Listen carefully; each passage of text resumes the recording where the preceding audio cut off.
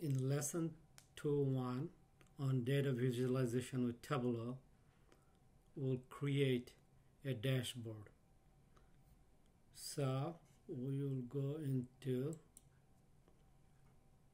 Tableau. We have three worksheet. Worksheet 1 worksheet 2 worksheet 3 we'll bring all of them into the dashboard. So let's create a new dashboard and bring uh, sheet 1 into the dashboard. And dashboard can have before we do that dashboard can have two vertical boxes or two horizontal boxes and so on. But we would like to create a dashboard that is more flexible. So to do that we'll need to uh, float these structures each of them. And then this one float. And then we have one more float. So we have a dashboard we have the graph would like to use instead of standard would like to use entire view and for device preview would like to go with default. And then for size instead of fixed size will go automatic. So that way it will cover the whole area. So now for us uh, since we have to bring in other ones so we'd like to make it little bit shorter so let's say on this side we cover the whole area. And we have this order date make it transparent so it comes into the front. The customer segment same thing bring into the front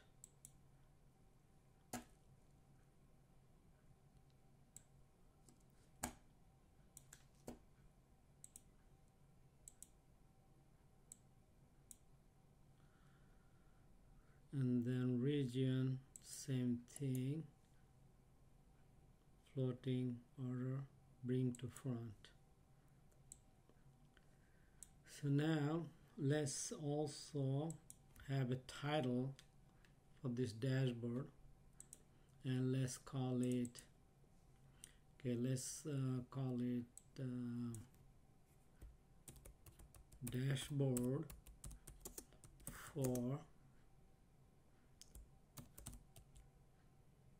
tree map and bar charts. Make it bold make it centered apply. Okay. Also I would like to have this floating. So that way I can put wherever I want so now we are going to rearrange this uh, let's bring this up there. Mm, let me put some space in between.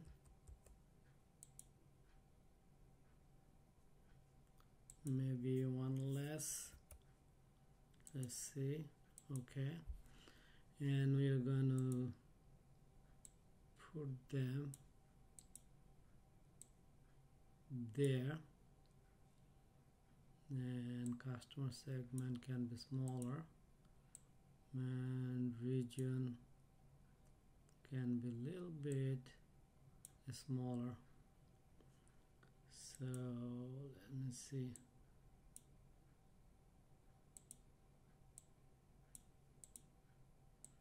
So once we do that then we can bring in sheet number two. Place it in here. Same thing.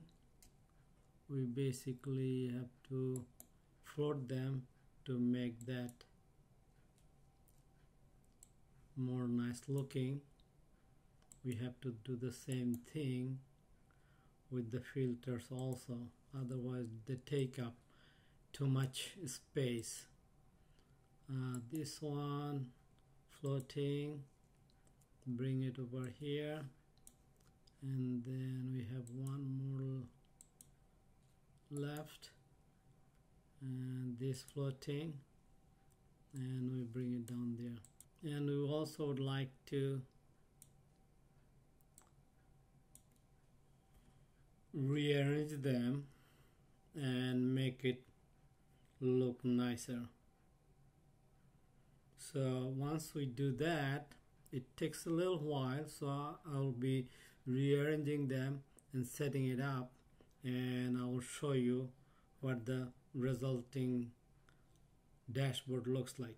After rearranging them a little bit you can see that the dashboard it can be a nice looking arrangements of graphs and other stuff. So here we could usually use the same that we did in the chart. So we can look at a specific region or we could look at different time horizon or we could look at over here uh, a specific region in the bar chart so it's basically the same idea.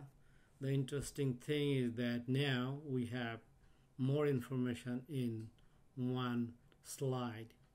So usually one dashboard has one or more slides sheets together and then putting together several dashboard can create a presentation usually known as a storybook. So this is all we have for today in terms of creating a dashboard. Next dashboard we will put together two other slides two other sheets two other graphs that we created and we'll create another another dashboard with those two. So thanks for watching. Um, I'll see you on the next presentation. Bye now